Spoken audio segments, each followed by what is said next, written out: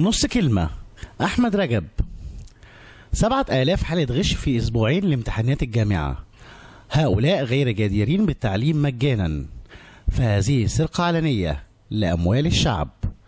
وعقوبة الغشاش يجب أن تكون رادعة.